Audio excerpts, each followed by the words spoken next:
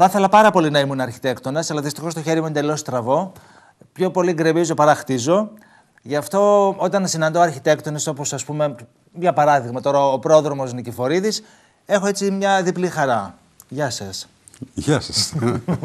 τον πρόδρομο Νικηφορίδη, αν δεν τον ξέρετε, σίγουρα τον περπατάτε. Τι εννοώ, ότι δηλαδή αυτή η νέα παραλία της πόλης, της Θεσσαλονίκης, είναι ένα έργο που έφτιαξαν η ομάδα του, οι συνεργάτες του, τα λέω καλά; Με τον Μπερνάρκο Όμο και πολλούς άλλους συνεργάτες. Και είστε ευχαριστημένοι που επιτέλους παραδόθηκε στη Θεσσαλονίκη αυτό για το οποίο κόσμος πολύ περηφανεύεται, η νέα παραλία. Ε, ναι, μάλλον. Ε, είμαστε ευχαριστημένοι, εννοείται βέβαια. Από τη μέχρι τώρα χρήση της έχει περάσει κανένα χρόνο, δύο, πόσο καιρό που την περπατάμε; Από το πρώτο τμήμα έχουν περάσει ήδη 7 χρόνια. Από το δεύτερο. Τι 7 χρόνια, με τη νέα παραλία λέω. Ε, πού ήμουν εγώ, ξέρω εγώ. από το πρώτο τμήμα, αυτό δηλαδή που είναι κοντά στο ημέγαρο μουσικής, έχουν περάσει 7 χρόνια. Από το δεύτερο, που είναι το μεγαλύτερο, δύο χρόνια. Δύο χρόνια. Έχεις παρατηρήσει τίποτα λάθη, τίποτα παρεμβάσεις που χρειάζονται να γίνουν μέσα σε αυτά τα δύο χρόνια της χρήσης από εμάς, τους λίγο παλαβούς; Έχω παρατηρήσει πάρα πολλά, αλλά τώρα ήρθαμε γι' αυτό εδώ. Τι θέλεις, ε, έτσι θα ξεκινήσουμε. Την κουβέντα εγώ την διευθύνω. και θα κλείσουμε με την πληροφορία για αύριο. Ε, λοιπόν, ε, υπάρχουν πολλά θέματα. Από θέματα που έχουν να κάνουν με την κατασκευή, θέματα που έχουν να κάνουν με τα προβλήματα που συναντήσαμε στην κατασκευή, θέματα που έχουν να κάνουν για το μετά την κατασκευή, θέματα διασυντήρησης, ε, θέματα βανδαλισμών, κακοποίησης. Ε, όλα αυτά προσπαθούμε με το σύλλογο που έχουμε κάνει, με έναν τρόπο να τα αντιμετωπίζουμε. Ε, δεν είμαστε βέβαια εμείς που διαχειριζόμαστε την νέα παραλία προφανώς, απλώς εμείς προσπαθούμε να ευαισθητοποιήσουμε τον κόσμο, να ευαισθητοποιήσουμε τις αρχές, ε, τους ώστε να διορθωθούν κάποια πράγματα. Είστε δηλαδή με έναν τρόπο η φρουρή της Νέας Παραλίας; Ε, φίλοι της Νέας Παραλίας για το σύλλογος. Είμαστε φίλοι. Ωραία, φίλοι. Και φρουροί, εντάξει. Κάνετε δουλειά. Δηλαδή προστατεύετε το, το, το, το κτήμα σας με έναν τρόπο. Δεν σε εισαγωγικά. Σε εισαγωγικά. Ναι, δεν είναι δικό μας το κτήμα. Ολονών είναι. εντάξει. Okay. Και αυτό είναι που το κάνει πολύτιμο, γιατί ανήκει σε όλους. Ναι, ωραία. Πάντως μιλούν αρκετοί δεν ξέρω τι φτάνουν στα αυτιά σου από πληροφορίες, δηλαδή ξέρω εγώ σχόλια από τη μία ή την άλλη πλευρά. Πάντως αυτό που κυριαρχεί σαν αίσθηση είναι ότι πρόκειται για μια παραλία, ε, ένα δυναμικό σκηνικό, για, μια, έτσι, για έναν ευρωπαϊκό ορίζοντα μοναδικό σε όλη την, ε, αυτή την ε, περίφημη Ήπειρο.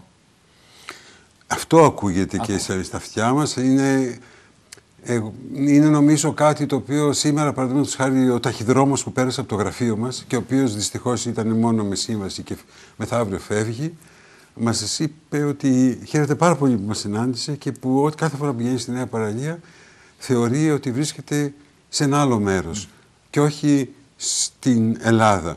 Ε, με, το έλεγε με την καλή έννοια, με την έννοια δηλαδή ότι ξαφνικά αναβαθμίστηκε το, το θαλάσσιο μέτωπο της πόλης και αυτό ε, δημιουργεί ένα αίσθημα αισιοδοξίας. Ναι, εντάξει. Είναι μέσα σε αυτό το πράγμα που.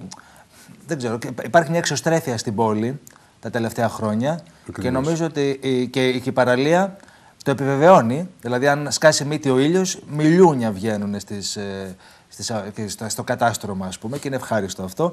Τώρα, ο πρόδρομος Νικηφορίδης έχει έρθει έτσι να πούμε μερικά πράγματα γύρω από την τέχνη του και την πόλη κτλ. αλλά και για μια πληροφορία που αφορά μια διάλεξη.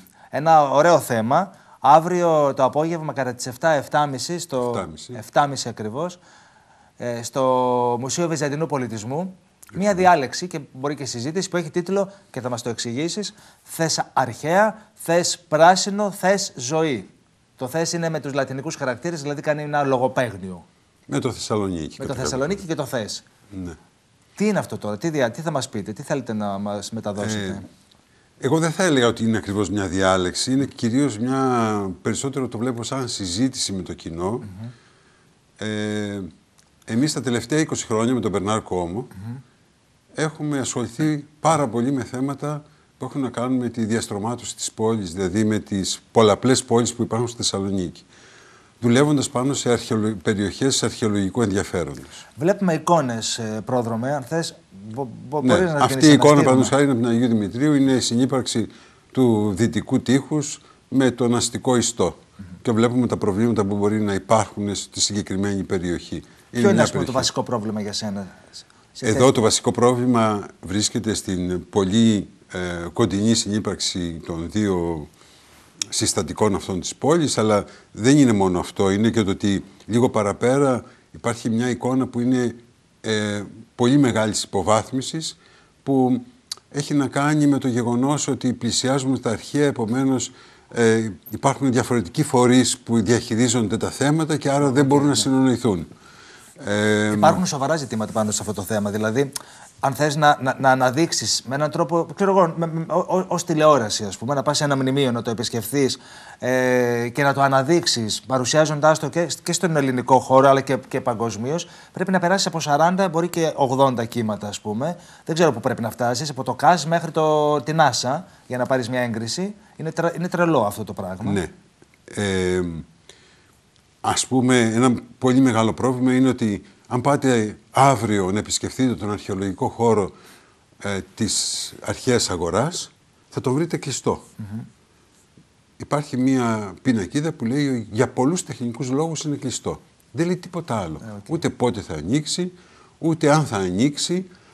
Ε, και έχουμε να κάνουμε με μία περιοχή που είναι πάρα πολύ μεγάλη, που θα μπορούσε να είναι ένας μεγάλος δημόσιος χώρος, φυτεμένος, ε, με ζωή και όμως είναι περιχαρακωμένος, αποκλεισμένος, είναι δηλαδή ένας, αυτό που λέμε στην αρχιτεκτονική θύλακας αποκλεισμού πραγματικά, δηλαδή δεν εντάσσεται στην πόλη. Όλα αυτά θέλουμε λίγο να τα αναδείξουμε, να, τα συζητήσουμε. Να τα ανιχνεύσετε λίγο και να, να τα ανιχνεύσουμε. Μακάρι να είναι και αρχαιολόγοι στις κουβέντες αυτές. Ε, θα είναι σίγουρα γιατί η, η, η διάλεξη αυτή ας πούμε, διοργανώνεται από, τον, από το Σωματείο Φίλων Μνημείων Θεσσαλονίκης. OK, okay, μια χαρά. Ε, όπου υπάρχουν και πολλοί αρχαιολόγοι. Και είναι πολύ σημαντικό να συζητήσουμε και με τους αρχαιολόγους γιατί ε, πρέπει να ακούσουμε ένας τον άλλον και να μπορέσουμε να, να συζητήσουμε. Και μια σύμπνοια δηλαδή μεταξύ αρχιτεκτόνων, αρχαιολόγων θα έχει πολύ μεγάλο ενδιαφέρον. Ελπίζω. Ανοίξαμε ωραία θέματα. Μπορείς να ξανάρθεις, αν θέλεις. Πρόδρομο Νικηφορίδη, εδώ στο Πάρτε Θέση, να μιλήσουμε και λοιπόν για αυτό το αρχιτεκτονικό που ονομάζουμε Θεσσαλονίκη. Θαύμα, δεν ξέρω αν είναι. Ε, ευχαριστούμε. Αύριο, ευχαριστώ πάρα πολύ. Αύριο στις 7.30. Αύριο στις 7.30 στο Μουσείο Βυζαντινού Πολιτισμού για να πάρετε μέρος, να δηλώσετε κι εσείς κάτι, να θέλετε να σηκώσετε το χέρι, να πείτε κάποια κουβέντα πάνω σε αυτά τα θέματα που ήδη έτσι αρχίσαμε να συζητάμε με τον ε, πρόδρομο Νικηφορίδη.